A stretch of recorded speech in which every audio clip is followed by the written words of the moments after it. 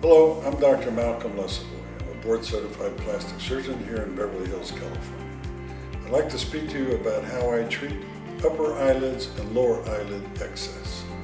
Some of us are born this way, and some as we age have extra skin of the upper eyelids that give us a tired appearance, and we have these protruding bags of the lower eyelids. I do the procedure under local anesthesia, it takes about an hour and a half, and you go home presentable in public in about two weeks. I give you some oral sedation with some pills and a few little bee stings to make everything numb of the lower eyelid and the upper eyelids. And I do both sides, obviously. It's better than general anesthesia because it's safer and I found that patients recover much faster. Thank you for listening.